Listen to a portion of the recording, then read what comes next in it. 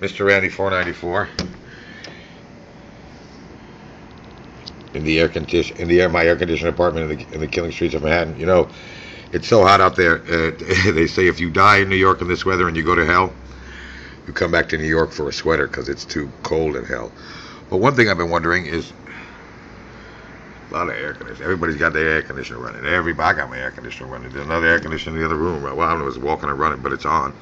And there's no blackouts this this uh, this this summer. And there's record heat. Last summer there were boom losing power, transformers and stuff was blowing. There's something down here on this corner that that's real dangerous all the time anyway.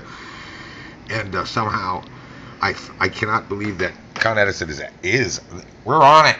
I don't, I don't find that possible. I think um, it's more likely that um, last summer we had a lot more flooding and I think it's uh, well, the, for some reason we're not having as much flooding. I think the, the, water has more to do with the blackouts last time, last year than than this year, and then after Sandy, maybe they they took care of some business or something. I'm not sure, but I why is it, it's a record? Uh, it's a record uh, amount of electricity used by New York the, the forever.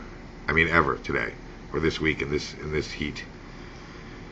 Like probably one of the highest amounts of energy used by any city in time ever. Especially when they only had candles. But anyway, how come no blackouts? Creepy lack thereof. Conspiracy. Booyah.